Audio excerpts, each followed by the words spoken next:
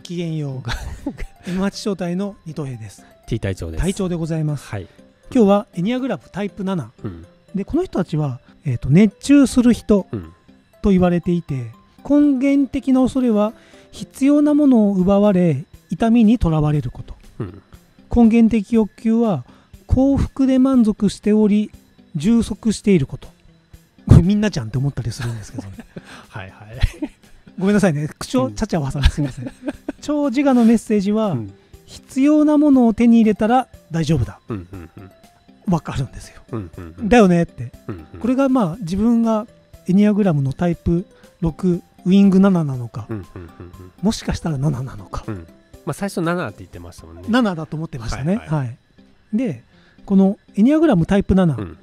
を作者うん。あ今日はこちらですね。エニアグラムあなたを知る9つのタイプ基礎編ドン・リチャード・リソラス・ハドソンさんうん。なんですけどもこのタイプ7、うん。楽しいことが好きで多忙なタイプうん。自然体多彩欲しがりうん。散漫。うん。でこの作者がうん。タイプ7を熱中する人と名付けたのは、うん。自分の注意を引くほとんど全てのことにうん。熱中するからですと。うん。彼らは好奇心や楽観主義冒険の心を持って人生を送ります。うん。お菓子屋さんにいる子供のように純真でうん。これから体験する全てのいいことへの期待に心を弾ませながらうん。世界を目の当たりにするのですと。うん。彼らは快活かつ大胆でありうん。前向きの確信とともに人生において欲しているものを積極的に追求しますと。うん。タイプ7は思考センターなので、うん。頭のうん。人ですね、うん目を向けているのは未来、うん。はい、タイプ7は思考センターですがすぐに周りから見てそうは見えませんと。うん。なぜなら 極めて現実的でいつでも多くのプロジェクトに関与している傾向があるからですと。彼らにとっての思考は先を見越すこと。うん。出来事を予見し動きま回りながらアイデアを生み出します。うん。思考を刺激する行動を好みそこからさらなる行動や思考が生まれます。うん通常の定義でいうインテリや勉強好きでは必ずしもないと。うん。けれども往々にして知的でありうん。広範囲の知知識に通じ弁が立ちます。うん。彼らは一つの考えから次への思考へと回転が早いためうん。アイデアを自由に出したり情報を総合するうん。のに長けています。うん。タイプ7は次から次へと考えが湧き自然体の喜びを感じることでワクワクします。うん一つの話題を深く探るよりも幅広い全体的な視点や創造的プロセスの初めのつきものの興奮を好みます。うん。これあのいつものように、はい。えーとアドラー的視線うん。アドラーの視点というのは他者の課題自分の課題っはい。ていうのと、うん。なんだっけ共共同体。共同体感覚ですね、から見ると、うん。今んとこなんか、うん反応するところはないんですけどね、共同体感覚はなさそうですよね。はい、あとま自分が自分がタイプじゃないですか。あ、はい、自分の体験最優先みたいな。そうですね、うん。なんで何も悪いところは で別に、うん。なんて言うんだろう。えっ、と承認欲求もそんなに求めてないし、うんうんうん。だから貪欲手に入れたい欲求ばっかりですよまだそこまで書かれてませんでしたね、はい。ここでは、うん。あとまあ最近昨日勉強したうん空のち視点と,、うんうん。うん。えっ、と般若心経。お釈迦様の言うところの八正道、はいはい。もうちょっと今加わったのではい。私の眼鏡には、はい。ちょっとその視点でうん。注意をせねばと思ってるんですけどタイプ7今のところすごく楽しそうにやってますね。見ててこっちもニコニコして見てますよこうん。この人たちを。うんうん。どの辺から問題が出てくるんでしょうね。はい。デボンさんっていう人が出てくるんですけど、うんうん。この人は成功したビジネスウーマンですがうん。タイプ7の思考がどう働くかの一端を語り語りましたと。私は確かにリストを作るのが好きですと。うん。覚えられないから、うん。ということはあまりありありません。うん。記憶力はとてもいいですと。うん。どちらかというと考えすぎないように情報を書き留めておくためですと、うん。例えば入手の難しい高価なチケットを買って、うんコンサートに行ったもののうん。最後まで座ることができなかったりしたことがあったと、うん。自分がする必要のあることのうん。次から次へとそういったことが浮かんでくる。うん。で苦しくなった。うん。で結局席を立って出ていかなければなりませんでした、うん。一緒に行った人はうん。とても気分を害することであり、うん。私は素晴らしい賞を見逃しました。うん。人には迷惑かけてないなとか自分の欲求に素直なだけだなってうん思いましたけどね。まあでも幸せにはなれませんよですからね。あそっか今。そうですね。今幸せになろうとしていて、うん。なんで楽しいコンサートに行って苦しい思いをしてるんでしょうね、うんうん。もっといいものがあるかもしれないですもんね。それを楽しんでないのが7じゃないですか。そうですね。楽しもうと思って、うん。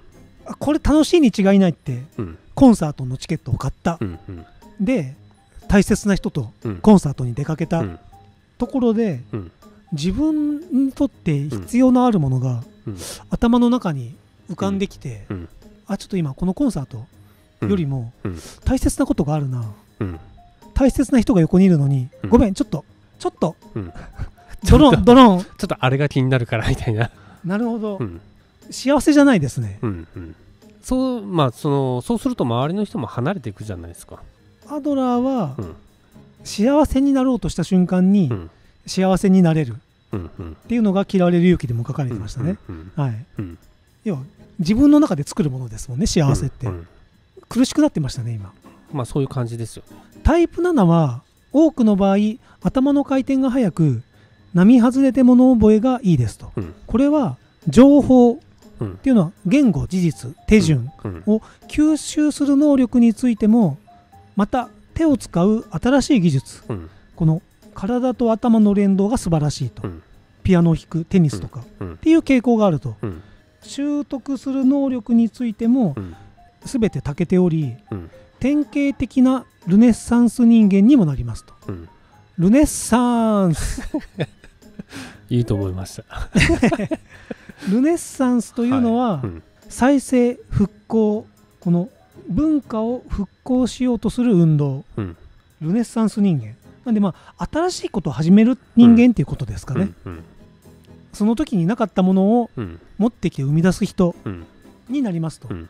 ただ皮肉なことにタイプ7の広範囲に及ぶ好奇心と物覚えの良さは、うん問題を作ることにもなりますと、うん比較的容易にさまざまな技術を身につけることができるのでうん自分が何をしたらいいのかが分かりにくくなるんだと。うん。その結果努力して身につけたものに比べて自分の能力を必ずしも評価できないと。けれどもタイプ7のバランスが取れている場合彼らの多彩さ好奇心学習能力は並外れた達成へと導く場合があります。彼らの問題のルーツは思考センターにおける全てのタイプに共通する本質の導きと支えから切り離され深い不安がタイプ7の中に生まれるんですと。彼らは自分自身や他人にとって有益になるにはどのような選択をしたらいいのかを分かっているとは感じられませんと。そこで2つの方法によってこの不安に対処します。まず頭をいつも忙しくさせておくこと。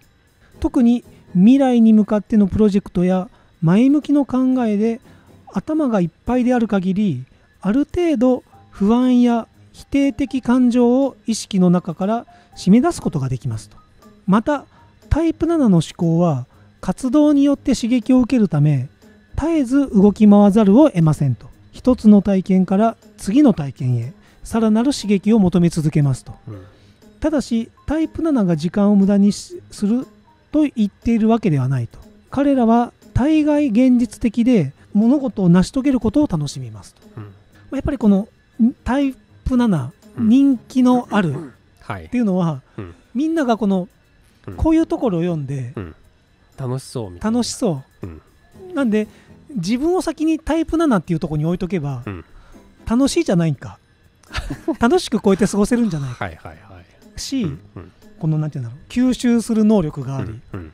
器用で、うん。っていうところもなんかその得するチケットに見えるんですよね。うんうん。人生を生きるにあたって、なので、まあ、タイプ7になりたがる。それだけでも好奇心が強いってことだとは思うんですけどね。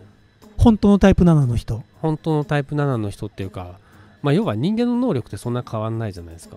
はいはいはいはい。で記憶力はタイプによって変わるとは思えない。です思わない、そうですねはい。それは多分興味が強く惹かれるから、はい。それを真剣に聞くから記憶するはいはいはい。はい興味が強く惹かれるからなんか真剣にこうなんか取り組んだりするから,、はい。な技術も早く習得するみたいなところだとは思うんですよね。ただうん。その本当のタイプ7の人ははい、こうやってやってる時に、うん。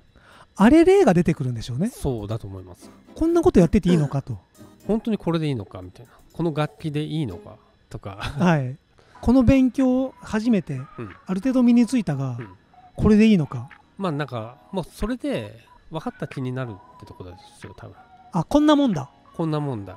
あこれはこんなもんねなんですね、これはこんなもんだから次のあれも次もこれも、なめた野郎ですね。うん。そんな深さを知らない感じ。うん。なるほど。アドラー的にはでも何にも問題はないです。アドラー的には、なんか幸せにやってるねで、まあ人にも迷惑がかけてなければ。共同体感覚じゃないですかはいはいはいはい。問題があるとすれば、あとはまああそこで言うのは、うん。君はなりたいものになろうとしてしなろうとした瞬間になれる。っていう、なろうとしたものがうん。多分次から次へとコロコロ変わっていて、うどれにも慣れてないっていうことなんですかね。ん、どれにも慣れてないみたいなとこですよ。どれにも慣れてない物語が。慣れてないものがそこそこがいっぱいあるって話ですよ多中途半端ななりたいもの。分なりたいもの。はい。そこそこできるみたいなのがいっぱいある。じゃあはいはい。それで食えてんのかっていうとそうでもないみたいな、うん。絵も上手に描ける。じゃあそれで極めてるのっていうと、まあ、そこまでではないみたいなのが多分いっぱいあるみたいな。ああなるほど。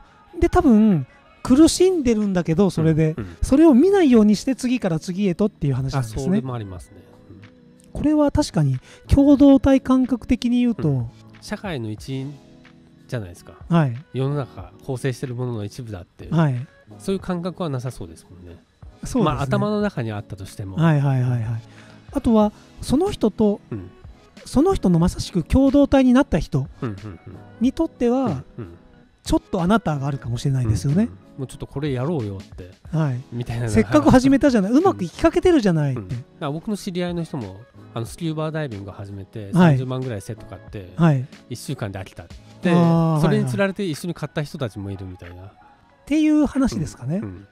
またタイプ7は試行錯誤という方法を使ってうん。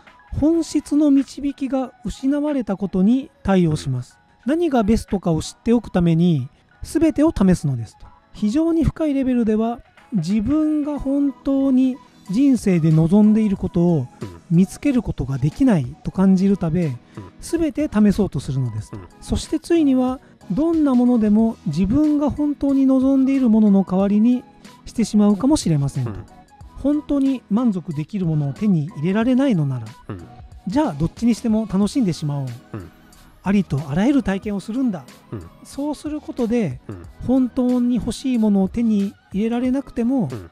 まあ他の人が満足しているのであれば、うん。彼が満足しているように僕も満足できるうん。気分は悪くないだろうみたいな感覚、うんうん。私たちは日常生活の極めて些細な事柄の中にもうん。こうしたことが起きているのかが分かります、うん。アイスのバニラが欲しいうん。のかチョコレートなのかうん。ストロベリーなのか、うん。それを決めるためタイプ7はうん。3つを欲しがると、うん。なぜなら正しいっていう選択肢を逃したくないから。うんうん2週間の休暇があり、うん。ヨーロッパに行きたい。うん。だとしたら、うん。同様の難問にあると、うん。イタリア？フランス？ドイツ、スペイン、うん。ポルトガル？どこも行きたいみたいな。オランダ？じゃあ全部。うん。一日ずつ場は。5時間ずつみたいな、うんうんうんそれで本当にその国を体験したと言えるのかって話ですよね。そうですね。でできるだけ多くの国や都市名所をその休暇に盛り込むでしょう、うんうん。彼らは興奮する体験を追い求めている一方、うん。心が真に欲求しているものは、うん。無意識の中にふ深く生み込まれているため、何かが分かってない。うんうん何を心が求めているのか、うんさらにタイプ7が自由と満足を与えてくれそうなものを全てを追求するスピードを速めるにつれうん。選択を誤りがちになり、うん。満足できなくなる、うん。なぜならあらゆるものが回転の速い頭というフィルターを通じてうん。薄っぺらい表面的な体験になってしまうからだと、うん。その結果タイプ7は不安で欲求不満になり、うん。あもう薄っぺらいっていうのが分かるんですよね自分で、まあ自分で多分そうですよ。薄っぺれうん。薄っぺらいっていうのが分かるため、欲求不満になり腹を立ててしまうと、うんうん。で彼らは幸福を求めながら、うん。健康や人間関係うん。経済状態を損ねることになってしまいかねると、うん分かった。アドラー的に言うとうん。アドラーはその時に幸せになれるんですよ。うん幸せだと思えば幸せなんですよ、うん。タイプ7は、まあ、一瞬幸せかもしれないですけど、うん。一瞬以外はうん。ずっと幸せじゃないんですよ、うんうんうんそうだと思います。幸せを求めて行動してはい。あ体験したはい次だからはい。また体験するまでは幸せじゃなくなるみたいあな。あもう辛そう。なんかねまあ急にうん。なんかかわいそくなって見えてきました、今。このだって7の人がはい。今自分が手にしてるものでははい。お前は幸せになれないって言われてる感じがするって言ってましたもんねピコンピコンってずっとなってるんでしょうね。手に入れた瞬間に。手に入れた瞬間に今この手に入れてるものではお前は幸せになれない。これは正しくない。だから新たなものを手に入れなければいけない。っていうのがずっと来る。手に入れても手に入れてもそれが来るみたいな。だから幸せじゃないんです。でそれを楽しいでごまかしてるみたいな感じですよ多分。忙しくしてね頭の中を。うん、で楽しいことして楽しいからいいじゃんって。アクセルをこうやって踏み続けてるわけですね。うん、